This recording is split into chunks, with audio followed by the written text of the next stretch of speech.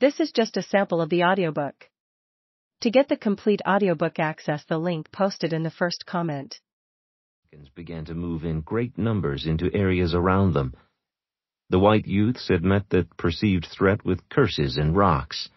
It was a sad history that carried back to the city's 1919 race riots, which saw many hundreds of people killed in the area in clashes sparked by the drowning of a black teen whose raft had drifted too close to a south side beach claimed by whites. To many, the neighborhoods were a fortress against a changing city, and they have long been key geography in Chicago's ongoing struggles with racism. To most Chicagoans, Bridgeport was an ancestral stronghold of sorts, and a political enclave that was synonymous with the Daleys.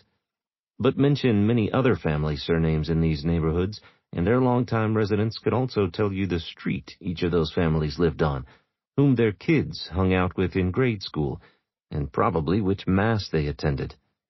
That was the real fabric. Politics, yes, but family first.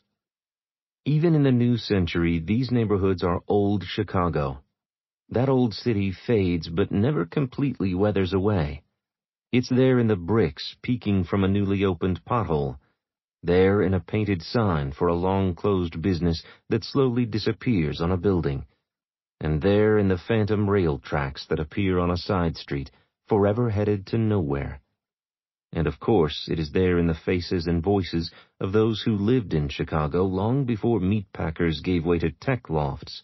The world's largest Starbucks moved to Michigan Avenue and international tourists appeared in droves to take selfies in front of a polished metal bean.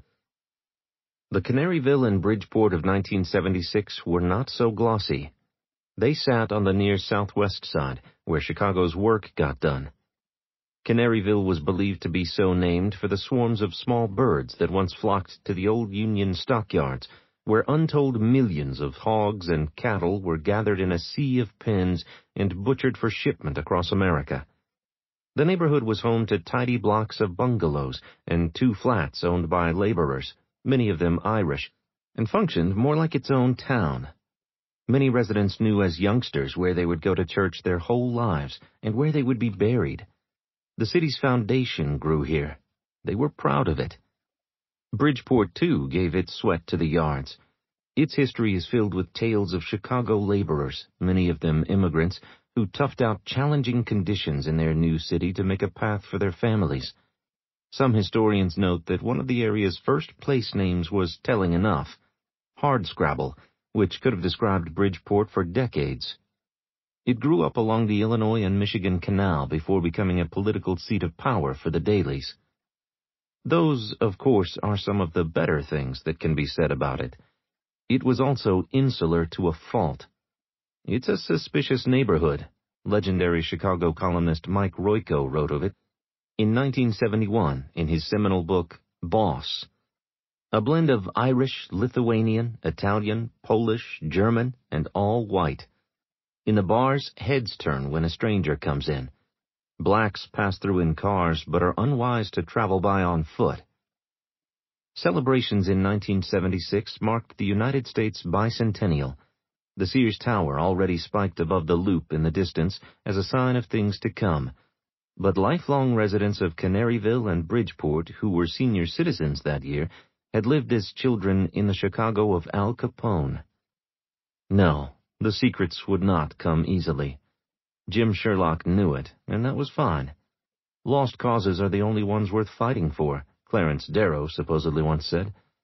Maybe that's what this was. Whatever truth was buried here, whatever the streets of Bridgeport and Canaryville would dish out, he would take. He was as Chicago as they were. In some ways, the perfect person to take this up and not look back.